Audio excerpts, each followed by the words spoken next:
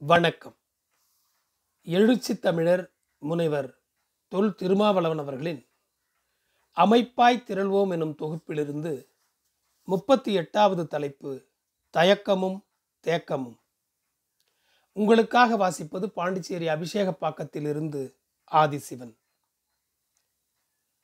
இதை தொடங்கலாமா தொடங்கக்கூடாதா தொடரலாமா தொடரக்கூடாதா முடிக்கலாமா முடிக்கக்கூடாதா என ஒவ்வொரு நிலையிலும் ஒரு வகை குழப்பம் தடுமாற்றம் வரலாம். இத்தகைய மனநிலையை ஊசலாட்ட மனநிலை அல்லது தயக்க மனநிலை எனலாம். தயக்கமானது எடுத்துக்கொண்ட வேலை திட்டத்தை விரைந்து செயற்படுத்த விடாமல் தேக்கமுறச் செய்யும். வெற்றி மற்றும் சாதனைகளுக்கு தயக்கமே முதல் பகையாகும். தயங்கும் செயல்கள் தேங்கும். நல்லது கெட்டது புரியாமல் எதிலும் திடுமென இறங்கிவிடக்கூடாது. என்கிற எச்சரிக்கை உணர்வு மிகவும் இன்றியமையாத தேவையே ஆகும். அவ்வகையான எச்சரிக்கை உணர்விலிருந்து எழும் தயக்கம் இயல்பானதே ஆகும். தயக்கத்திற்கு பெரும்பாலும் ஐயமும் அச்சமும் சோம்பலும் தன்னம்பிக்கையின்மையுமே அடிப்படைகளாகும். அறியாமையே ஐயத்திற்கும் அச்சத்திற்கும் மூலமாகும். அறியாமை என்பது பிறவி குற்றமோ பிறவி குறையோ அல்ல. அறியாமையானது அறிவின் மறுபக்கமே ஆகும். அறிவு வெளிச்சமெனில் அறியாமை இருள் எனலாம். வெளிச்சம் இருந்தால் இருள் இல்லை என்றோ இருள் இருந்தால் வெளிச்சம் இல்லை என்றோ பொருளாகாது. அறிவிருந்தால் அறியாமை இல்லை என்றோ அறியாமை இருந்தால் அறிவில்லை என்றோ கருத முடியாது. அறியாமையிலிருந்து வெளியேறுவதே ஐயத்தையும் அச்சத்தையும் போக்குவதற்குரிய வழியாகும். அறிவை தேடுவதே அறியாமையை விளக்குவதற்குரிய வாய்ப்பாகும். அறிவு என்பது தேவைக்கான தேடல்களிலிருந்தும் தீவிரமான உடல் மற்றும் மூளை உழைப்புகளிலிருந்தும் அவ்வப்போது அறிந்து கொள்ளும் விவரங்களின் தொகுப்பேயாகும். ஐயங்களிலிருந்தும் அச்சங்களிலிருந்தும் கற்றுக்கொள்ளும் உண்மைகளின் புரிதல்களேயாகும். நம்பிக்கையையும் துணிவையும் அளிக்கின்ற ஈடு இணையற்ற பேராற்றலேயாகும். அத்தகைய அறிவை படிப்பறிவு மற்றும் பட்டறிவு என இருவகையாக புரிந்து கொள்ளலாம்.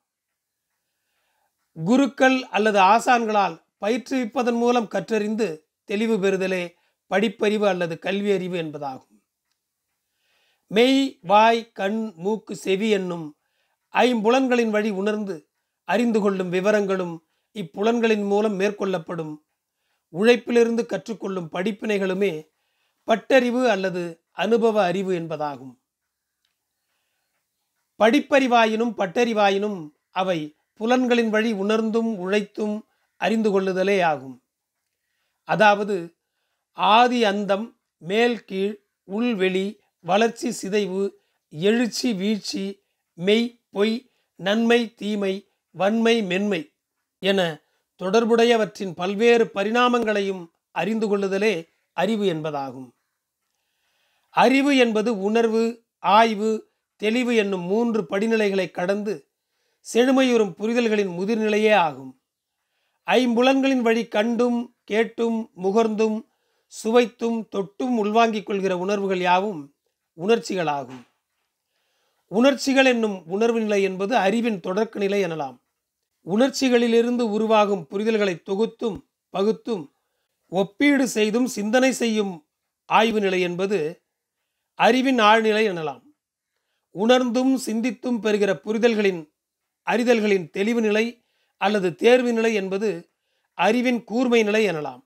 அதாவது உணர்ந்து புரிதல் சிந்தித்து அறிதல் தேர்ந்து தெளிதல் என்னும் மூன்று நிலைகளும் உள்ளடங்கியதே அறிவின் முழுமையாகும். இவ்வாறு விளையும் அறிவே அறியாமையை விளக்கும். அறியாமை விலகுவதிலிருந்தே ஐயமும் அச்சமும் வெளியேறும். ஐயம் விளக்கி அச்சம் தவிர்த்து தொடங்கும் செயல்களில் தயக்கமோ தேக்கமோ நிகழ்ந்திட வாய்ப்பில்லை. அறிவு எப்போதுமே விரைந்து முடிவெடுக்கும். விரைந்து திட்டமிடவும் விரைந்து செயல்படவும் வழிவகுக்கும். அமைப்பாக்க நடவடிக்கையில் தயக்கமின்றி தேக்கமின்றி விரைந்து செயற்பட வேண்டியது இன்றியமையாத தேவையாகும். விரைவான செயற்பாடுகளுக்கு துணிவான முடிவுகள் தேவை. துணிவுக்கு அறிவு தேவை அறிவுக்கு துணிவு தேவை அறிவும் துணிவும் இணைபிரியாதவை. அறிவு துணிவுக்கும் துணிவு விரைவுக்கும் விரைவு வெற்றிக்கும் வழிவகுக்கும். விரைவு என்பது கூடுதல் வேகத்தை குறிக்கும். இயல்பான அல்லது தேவையான வேகத்தை விட குறைவான அளவிருப்பின் மந்த நிலை எனவும் கூடுதலான அளவிருப்பின் விரைவு நிலை எனவும் அறியலாம். கூடுதல் வேகம் என்பதில் இருநிலை காணலாம். அறிவும் துணிவும் இணைந்த கூடுதல் வேகத்தை விரைவு அதிவிரைவு எனலாம். அறியாமையின் விளைவுகளான ஐயமும் அச்சமும் இணைந்த கூடுதல் வேகத்தை பதற்றம் பரபரப்பு என்னும் அவசரம் எனலாம். அதாவது கூடுதலான வேகம் என்பது துணிவிலும் உண்டு அச்சத்திலும் உண்டு. துணிவில் விளைவது விரைவு என்னும் பாய்ச்சல். அச்சத்தில் பிறப்பது அவசரம் என்னும் பதற்றம். விரைவாய் அல்லது பாய்ச்சலாய் செயற்படுவது அறிவு சார்ந்தது. அவசரமாய் அல்லது பதற்றமாய் செயற்படுவது உணர்ச்சிகள் சார்ந்தது. உணர்ச்சி வயப்பட்டு பதறும் செயல்கள் சிதறும். விரைவாக செயல்பட வேண்டும் என்னும் நோக்கில் உணர்ச்சி வயப்படுதல் அவசரப்படுதல் பதறுதல் ஆற்ற வேண்டிய பணிகளை அல்லது வரையறுக்கப்பட்ட செயல் திட்டங்களை சீர்குலைத்துவிடும். இத்தகைய உணர்ச்சி நிலை அல்லது அவசர நிலை என்பது அமைப்பாக்க நடவடிக்கையில் எதிரான விளைவுகளை உருவாக்கிவிடும். உடன் பணியாற்றுவோரிடையில் உள்ள ஒருங்கிணைவை ஒற்றுமையை பாழாக்கிவிடும். அறிவார்ந்த அணுகுமுறைகளுக்கு இடமில்லாததாகிவிடும். அறிவு கொள்கை சார்ந்த போர்க்குணத்தை நெறிப்படுத்தும் உணர்ச்சி தன்னலம் சார்ந்த வன்முறைகளை வலுப்படுத்தும். அறிவு பெருமளவில் சேதமில்லாத அதிவிரைவான முடிவுகளுக்கும் அதி தீவிர செயற்பாடுகளுக்கும் வழியமைக்கும். உணர்ச்சி பெரும் சேதங்களை இழப்புகளை உருவாக்கக்கூடிய பதற்றமான அல்லது அவசரமான முடிவுகளுக்கும் அரைகுறை செயற்பாடுகளுக்கும் இடமளிக்கும். உணர்ச்சி வயப்பட்டு அவசரப்பட்டு பதற்றப்பட்டு அணுகும் வேலை திட்டங்கள் பெரும்பாலும் இடையிலேயே சிதறவும் தேங்கவுமான நிலைகளை எதிர்கொள்ளும். ஐயமும் அச்சமும் மேலோங்கும் போது பதற்றம் அல்லது சோர்வு ஆத்திரம் அல்லது அழுகை போன்ற உணர்ச்சிகள் மேலாதிக்கம் செய்யும். இத்தகைய உணர்ச்சிகளுக்கு ஆளாகும் போது ஆற்ற வேண்டிய கடமைகளை அல்லது செயல் திட்டங்களை வெற்றிகரமாக தொடர முடியாத வகையில் தயக்கமும் தேக்கமும் உருவாகும். இவ்வாறான தயக்கங்களை தவிர்த்து தேக்கங்களை உடைத்து விரைவாகவும் வெற்றிகரமாகவும் செயலாற்றுவதற்கு தொடர்புடைய செயல்திட்டத்தை பற்றிய செயற்களத்தை பற்றிய பல்வேறு பரிணாமங்களையும் அறிந்து கொள்ளுதல் வேண்டும். இதுவே அடிப்படையான உரிய தேவையான அறிதல் என்னும் அறிவாகும்.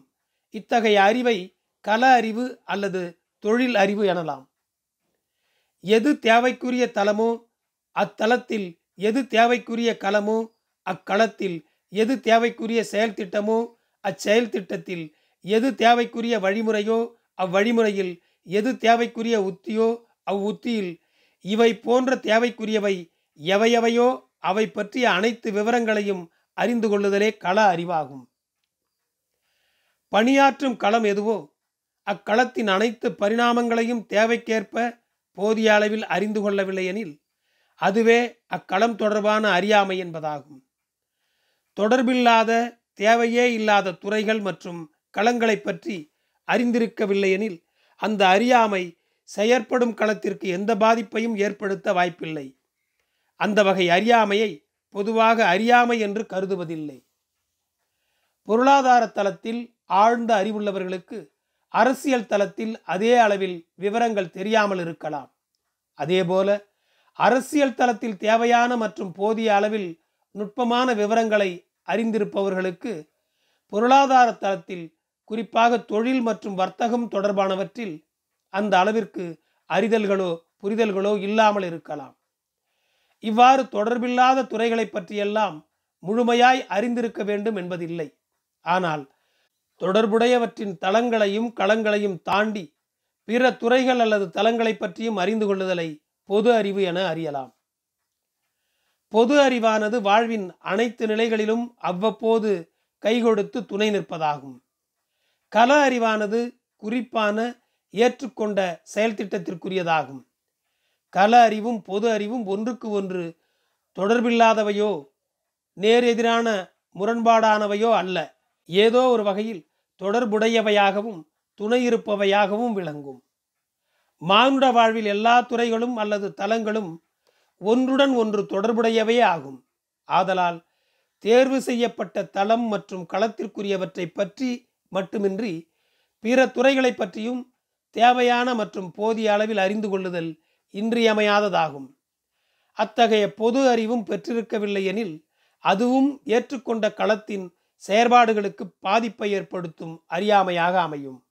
அதாவது செயற்படும் களத்திற்கு தொடர்பில்லாதவை என கருதப்படும் பிற துறைகளை பற்றிய அறியாமையும் ஆற்றும் களப்பணிகளில் ஐயங்களையும் அச்சங்களையும் உருவாக்கும். அவை அத்தகைய குறிப்பிட்ட களப்பணிகளில் அல்லது செயற்திட்டங்களில் தயக்கத்தையும் தேக்கத்தையும் ஏற்படுத்தும். தயக்கத்திற்கும் தேக்கத்திற்கும் செயற்பாட்டு களம் பற்றிய அறியாமை குறிப்பாக அதன் விளைவுகளான ஐயம் மற்றும் அச்சம் ஆகியவை காரணிகளாய் அமைவதைப் போல சுறுசுறுப்பின்மையும் தன்னம்பிக்கையின்மையும் மேலும் குறிப்பிட வேண்டிய காரணிகளாக அமைவதுண்டு. ஒரு செயல் திட்டத்தை நடைமுறைப்படுத்துவதில் ஒவ்வொரு தனிநபரின் இயல்புகள் பெரும் பங்கு வகிக்கின்றன. அதாவது தனிநபர்களின் உணர்ச்சிகள் மற்றும் பண்புகள் ஒரு செயலின் போக்கை தீர்மானிப்பதில் குறிப்பிடும்படியான பாத்திரம் வகிக்கின்றன. தனிநபரின் உணர்ச்சிகளும் பண்புகளும் அந்தந்த தனிநபர்களோடு உள்ளடங்கி போவதில்லை. உடனிருப்போர் உளநிலையின் மீது ஏதோ ஒரு வகையில் ஏதோ ஒரு அளவில் தாக்கத்தை ஏற்படுத்துகின்றன. அதாவது பிறரின் உணர்ச்சிகள் மற்றும் பண்புகள் மீது உடன்பாடாகவோ முரண்பாடாகவோ வினையாற்றுகின்றன. ஒருவரின் மகிழ்ச்சி உடனிருப்போரில் சிலருக்கு மகிழ்ச்சியையும் சிலருக்கு எரிச்சலையும் உருவாக்கலாம். ஒருவரின் அழுகை சிலருக்கு இரக்கத்தையும் சிலருக்கு இன்பத்தையும் கூட ஏற்படுத்தலாம். ஒருவரின் ஆத்திரம் சிலருக்கு ஆவேசத்தையும் சிலருக்கு அச்சத்தையும் உண்டு பண்ணலாம். இவ்வாறு ஒருவரின் உணர்ச்சிகள் இன்னொருவரின் உணர்ச்சிகளை தாக்கலாம். இத்தகைய உணர்ச்சிகள் அறிவுக்கு முரணானவை அல்ல முதன்மையானவை வேண்டாதவை அல்ல மிகவும் வேண்டியவை. தவிர்க்கக்கூடியவை அல்ல நெறிப்படுத்த வேண்டியவை. உணர்ச்சிகளைப் போலவே ஒருவரின் பண்புகளும் இன்னொருவரின் பண்பு தளத்தில் அதிர்வுகளை அசைவுகளை விளைவிக்கலாம். பண்புகள் ஒரு வகையில் பெற்றோர் வழி ஒரு தலைமுறையிலிருந்து அடுத்த தலைமுறைக்கு இறங்கப்பெறும் பாரம்பரிய இயல்புகளாகவும் இன்னொரு வகையில் வாழ்வின் போக்கில் நடைமுறையில் கற்றுக்கொள்வதிலிருந்து பக்குவம் பெற்ற குண நலன்களாகவும் அமைவதாகும். உணர்ச்சிகளைப் போல பண்புகள் எளிதில் வெளிப்படுவதாகவும் விரைவில் வடிந்து விடுவதாகவும் இருப்பதில்லை. பண்புகள் அதன் இயல்புகளிலிருந்தே மனிதனுக்கு வாழ்வை உணர்த்துகிறது. சுற்றத்தை புரிய வைக்கிறது. உலகத்தை அறிய வைக்கிறது. இனிய பண்புகள் வாழ்வை சுற்றத்தை உலகை இனியவையாகவே பார்க்கின்றன. கசக்கும் பண்புகள் யாவற்றையும் கசப்பவையாகவே பார்க்கின்றன. அதாவது நேர்மறை பண்புகள் நேர்மறையாகவும் எதிர்மறை பண்புகள் எதிர்மறையாகவுமே அனைத்தையும் அறிந்து கொள்கின்றன. இத்தகைய இயல்புகளை கொண்ட பண்புகளே உணர்ச்சிகளின் போக்கையும் ஆற்றலையும் தீர்மானிக்கின்றன. உணர்ச்சிகளுக்கும் பண்புகளே அடிப்படையாகும். பண்புகளிலிருந்தே உணர்ச்சிகள் வினையாற்றுகின்றன. பண்புகளின் வெளிப்படையான வடிவங்களே உணர்ச்சிகளாகும்.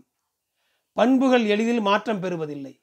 எளிதில் எதையும் ஏற்பதும் இல்லை இழப்பதும் இல்லை பண்புகளின் மாற்றத்திலிருந்தே உணர்ச்சிகளின் மாற்றம் அமையும். உணர்ச்சிகளின் மாற்றத்திலிருந்தே செயல்களின் மாற்றம் அமையும். இத்தகைய பண்புகளின் மாற்றத்திற்கு அளவு மாற்றமே அடிப்படையாகும். அமைப்பாதலே அளவு மாற்றமாகும். ஒன்றை பலவாய் பல நூறாய் பல ஆயிரமாய் பெருக்கும் அமைப்பாக்க நடவடிக்கையில் தனிநபரின் பண்புகளும் உணர்ச்சிகளும் இவ்வாறு பெரும் பங்களிப்பை செய்கின்றன. சுறுசுறுப்பும் தன்னம்பிக்கையும் ஒருவரின் விரைவான உறுதியான செயற்பாடுகளை தீர்மானிக்கும் பண்புகளாகும். அமைப்பாக்க நடவடிக்கையில் இப்பண்புகள் மிக மிக இன்றியமையாதவையாகும். ஒருவரின் சுறுசுறுப்பும் தன்னம்பிக்கையும் சிலருக்கு ஊக்கத்தையும் சிலருக்கு பொறாமையையும் உற்பத்தி செய்யலாம். ஊக்கம் பெறுவோரை ஓரணியில் ஒருங்கிணைக்கவும் பொறாமை கொள்வோரை எதிரணியில் ஒன்று திரட்டவும் செய்யலாம். பண்புகள் அவ்வளவு எளிதில் மாறுவதில்லை அல்லது மாற்றுவதில்லை. எனினும் ஒருமித்த பண்புள்ளோரை எளிதில் ஒருங்கிணைத்துவிடும். இவ்வாறு ஒருங்கிணையும் ஒருமித்த பண்புள்ளோரின் அளவு பெருக பெருக தன்னளவில் பண்பு மாற்றங்களை பெறுவதோடு முரணான பண்புள்ளோரிடையேயும் மாற்றங்களை நிகழ்த்தும் ஆற்றலை பெறலாம். சுறுசுறுப்பும் தன்னம்பிக்கையும் இத்தகைய பண்பு மாற்றங்களை செய்யும் பண்புக்கூறுகளாக விளங்குகின்றன. அதே வேளையில் சுறுசுறுப்பும் தன்னம்பிக்கையும் இல்லையெனில் அது செயற்பாட்டில் தயக்கத்தையும் தேக்கத்தையும் உண்டாக்கும். சுறுசுறுப்பின்மைக்கும் தன்னம்பிக்கையின்மைக்கும் அடிப்படையானது தாழ்வு மனோநிலையாகும். சுறுசுறுப்பின்மை என்னும் சோம்பலானது மூளை மற்றும் உடல் உழைப்பின் மந்தநிலையையும் தன்னம்பிக்கையின்மை என்பது தன்னை குறைத்து மதிப்பீடு செய்தலையும் குறிப்பதாகும். சோம்பலாயினும் தன்னம்பிக்கை இன்மையாயினும் இவை தாழ்வெண்ணத்தின் விளைவுகளேயாகும். பொதுவாக தாழ்வெண்ணங்களே மனிதர்களின் அனைத்து சிக்கல்களுக்கும் மூலமாக அமையும். தாழ்வெண்ணம் எப்போதும் பிறரோடு ஒப்பிட்டு கொண்டே பிறரை விட தாழ்த்தி கொண்டே இருக்கச் செய்யும். பிறரை எப்போதும் இயல்புக்கு மாறாக மிகைத்து மதிப்பீடு செய்ய வைக்கும். தன்னை காட்டிலும் மற்றவர்களே அழகானவர்கள் அறிவானவர்கள் வலிமையானவர்கள் எனவும் மற்றவர்களால் மட்டுமே எதையும் எப்போதும் சாதிக்க முடியும் எனவும் நம்ப வைக்கும். தன் மீது நம்பிக்கை வைக்கவோ மதிப்பளிக்கவோ இடமளிக்காது. மேலும் அது துணிவை நெருங்காது போட்டியை மோதலை விரும்பாது சிக்கல்களை தடைகளை எதிர்கொள்ளாது புதுமையை தேடாது. பொதுவெளியில் எப்போதும் தன்னை முன்னிறுத்தி கொள்ள முனையாது. எப்போதும் எதிலும் ஐயம் கொள்ளும் அச்சம் காணும் தயக்கம் காட்டும் தனிமைப்படும் பொறாமை வளர்க்கும் பழிவாங்க பார்க்கும் அவதூறு பரப்பும் ஆத்திரம் கொட்டும் ஒழுங்கு மீறும் வழிமுறை மாறும் வன்முறை தூவும் குற்றம் புரியும் கொடுமை செய்யும் பொது அல்லது மைய நீரோட்ட போக்கிலிருந்து விலகிச் செல்லும். இவ்வாறு வெளிப்படும் உணர்ச்சிகளும் பண்புகளும் தாழ்வு மனப்பான்மையின் எதிர்விளைவுகளே ஆகும். இவையெல்லாம் நேரிய வழியில் வெற்றிகரமாக செயலாற்றுவதற்குரிய தன்னம்பிக்கையின்மையால் விளையும் நடவடிக்கையே ஆகும். தன்னம்பிக்கையின்மையால் சுறுசுறுப்பின்மையும் சுறுசுறுப்பின்மையால் தயக்கமும் தயக்கத்தால் தேக்கமும் என தொடர் வினைகளாக நிகழும் இவை யாவும் அடிப்படையில் தாழ்வு மனோநிலையால் ஒவ்வொரு தனிநபரும் சந்திப்பவையே ஆகும். அமைப்பாக்க நடவடிக்கையின் போது இத்தகைய தாழ்வு மனநிலையானது களப்பணியாளர்களிடையே தவறான புரிதல்களையும் குழுவாத போக்குகளையும் வளர்த்து விடுகிறது. ஒருவர் தனது தாழ்வெண்ணத்தால் கூச்சப்பட்டு பிறரோடு இணங்கி இணைந்து செயல்பட இயலாமல் ஒதுங்கி நிற்க நேரலாம். ஆனால் இன்னொருவர் தனது தாழ்வெண்ணத்தால் அவ்வாறு ஒதுங்கி நிற்பவரை அவர் வேண்டுமென்றே ஆணவத்தால் திட்டமிட்டு புறக்கணிக்கிறார் என கருத நேரலாம். அதாவது ஒருவர் கூச்சப்பட்டு தனிமைப்பட்டு ஒதுங்குவதற்கு அவரின் தாழ்வு மனோநிலையும் அவர் திட்டமிட்டு வேண்டுமென்றே ஆணவத்தால் புறக்கணிக்கிறார் என ஐயப்படுவதற்கு இன்னொருவரின் தாழ்வு மனோநிலையும் தான் காரணிகளாக அமைகின்றன. தாழ்வு மனப்பான்மையானது இருவரிடையே இருவேறு எதிர்மறை புரிதல்களை அளிக்கிறது. இதுவே தனிநபர்களிடையே இடைவெளிகளை உருவாக்குகிறது. குழு முரண்களையும் ஆற்ற வேண்டிய கடமைகளில் அல்லது களப்பணிகளில் தேக்கத்தையும் ஏற்படுத்துகிறது. இவற்றை தவிர்ப்பதற்கு தாழ்வு மனப்பான்மையை தகர்த்தெறிதல் வேண்டும். தாழ்வெண்ணமும் தன்னடக்கமும் ஒன்றுபோல் தோன்றலாம். எதிலும் தன்னை முன்னிறுத்தாமல் பின்னணியில் இருத்தல் அமைதியை நாடுதல் ஆதிக்கம் தவிர்த்தல் மாற்றார் கருத்தை மதித்தல் விட்டு கொடுத்தல் போன்றவை தாழ்வெண்ணத்தாலும் நிகழலாம் தன்னடக்கத்தாலும் நிகழலாம். தன்னம்பிக்கை இல்லாத நிலையில் நிகழும் இவை போன்ற செயற்பாடுகள் தாழ்வெண்ணத்தின் வெளிப்பாடுகளாக இருக்கலாம். தன்னை அறிந்தும் சூழலறிந்தும் தன்னம்பிக்கை பெற்று பக்குவமுற்ற நிலையில் நிகழ்ந்தால் இவை பெரும்பாலும் தன்னடக்கத்தின் செயற்பாடுகளாகவே இருக்கும். அதாவது தன்னடக்கம் என்பது தன்னம்பிக்கையின் முதிர்ச்சியே ஆகும். தாழ்வெண்ணம் என்பது தன்னம்பிக்கையில்லா மனோநிலையாகும். தன்னடக்கம் வளர வேண்டும் தாழ்வெண்ணம் உதர வேண்டும். தன்னம்பிக்கை வளர்வதிலிருந்தே தன்னடக்கம் வளரும். தன்னம்பிக்கையை பெறுவதும் வளர்ப்பதும் தன்னை அறிந்து கொள்வதிலும் தன்னை மதிப்பதிலும் அடங்கி உள்ளது. தாழ்வெண்ணத்திற்கு இடமளித்தால் அது தன்னையே குறைத்து மதிப்பிட வைக்கும். தன்னையே வெறுக்கச் செய்யும். தன்னையே நம்பிட மறுக்கச் செய்யும். அதாவது தாழ்வெண்ணத்தின் ஆதிக்கம் மேலோங்க மேலோங்க தன் மீதான வெறுப்பு தன் மீதான இரக்கம் தன் மீதான அவநம்பிக்கை போன்றவை மென்மேலும் வளரும். இவ்வாறு வளரும் பண்புகளால் பெரும்பாலும் தன்னை வெறுப்பவர்களே பிறரை வெறுக்கிறார்கள். தன்னை நம்ப மறுப்பவர்களே பிறரை நம்ப மறுக்கிறார்கள். தனக்குத்தானே பகையாகவும் பிறரை பகையாக்கவுமான பண்பினை கொண்ட தாழ்வெண்ணத்தை அண்டவிடவோ ஆக்கிரமிப்பு செய்யவோ வாய்ப்பளித்திடக்கூடாது அதன் வழியாகவே தன்னம்பிக்கையை வளர்த்திட இயலும். தன்னம்பிக்கையை வளர்த்தலும் தாழ்வெண்ணத்தை அழித்தலும் சமகாலத்தில் நிகழ வேண்டும். அமைப்பாக்க நடவடிக்கையின் போது ஒவ்வொரு முன்னணி செயற்பாட்டாளரும் தமக்குள் இத்தகைய பண்பு மாற்றங்களை செய்தல் இன்றியமையாததாகும்.